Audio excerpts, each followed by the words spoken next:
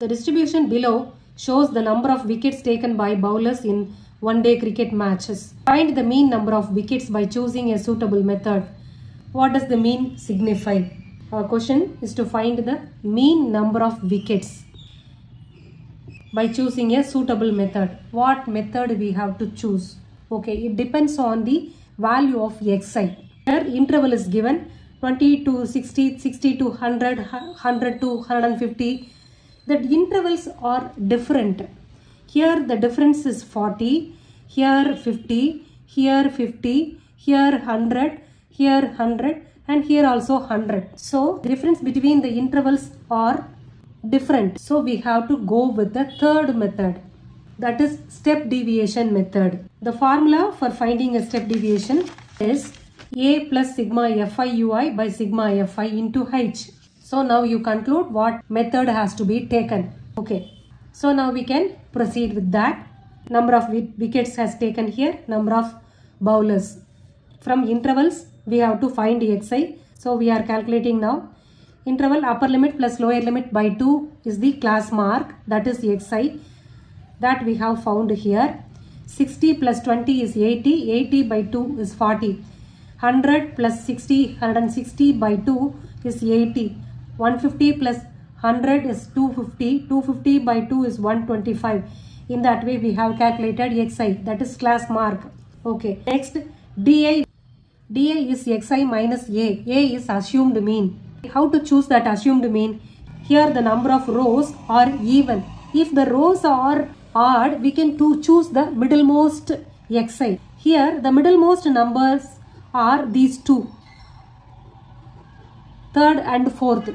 So we have to choose the biggest fourth one. So we have chosen 200 as the assumed mean. di equal to xi minus 200. So 40 minus 200 equal to minus 160. 80 minus 200 is minus 120. In that way I have calculated di here. And then ui. What is ui? ui is xi minus a by h. How to take h? Here h is the difference between the intervals. Here we have got different sizes. Here 100, here 150, 40 in that way. So we should leave this. We have to choose a common divisor for these numbers as height. Here we have chosen 20 as the common divisor. So that is xi minus a by 20.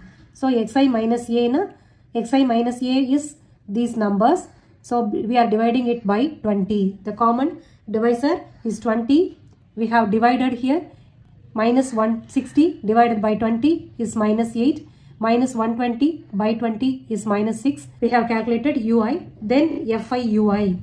fi is here. ui is here. We have multiplied these numbers. Minus 8 into 7 minus 56 minus 6 into 5 minus 30 and then we have multiplied all the numbers and added. This is sigma fi ui minus 116. See what I have written. xi is class mark. Upper limit plus lower limit by 2. h is the class size. Here 60 minus 20 is 40. 250 minus 150 is 100. So the class size varies. So for easy calculation, let us take h is equal to 20. By step deviation method, x bar is equal to a plus sigma fi ui by sigma fi into h.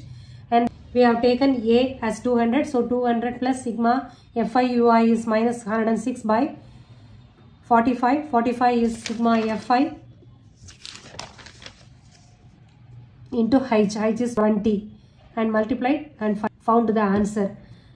In our uh, question, what does the mean signify? The mean signifies the number of wickets taken by 45 bowlers in one day cricket match.